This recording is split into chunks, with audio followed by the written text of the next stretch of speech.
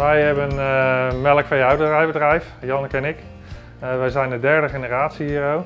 We maken kaas en dat verkopen we in onze landwinkel. Daarnaast doen we ook uh, kanoverhuur en hebben we het Groene Landhuis wat we verhuren voor vergaderingen. Agrotourisme, nou, dat wil ik zeker voor iedereen aanraden. Het kanoverhuur is hartstikke leuk om te doen. Mensen die zijn over het algemeen altijd vrolijk als ze komen. Waar we heel blij mee zijn is dat we van tevoren gekeken hebben waar uh, de financiële mogelijkheden waren uh, om hulp te krijgen. Ja, maak goede keuzes van tevoren en uh, vergis je niet. Het, het komt best wel wat bij kijken allemaal.